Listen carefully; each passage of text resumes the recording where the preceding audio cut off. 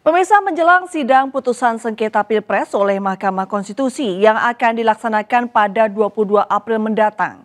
Penjagaan ketat dilakukan di sekitar gedung MK. Pihak kepolisian melakukan penutupan jalan Merdeka Barat arah Harmoni untuk mengantisipasi aksi unjuk rasa di sekitaran wilayah Patung Kuda, Jakarta Pusat. Mahkamah Konstitusi akan menggelar sidang putusan sengketa hasil Pilpres pada Senin 22 April mendatang.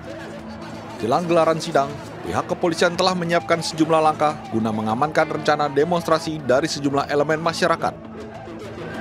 Pada Jumat sore, suasana di depan gedung MK terpantau dilakukan penutupan di Jalan Merdeka Barat arah ke Harmoni. Masa yang ingin melakukan demonstrasi dialihkan ke depan patung kuda.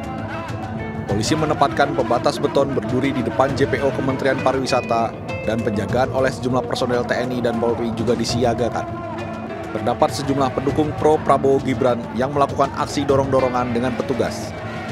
Namun, Prabowo Subianto dalam konferensi persnya meminta pendukungnya tidak melakukan aksi demo agar menjaga kerukunan dan kedamaian demokrasi di Indonesia.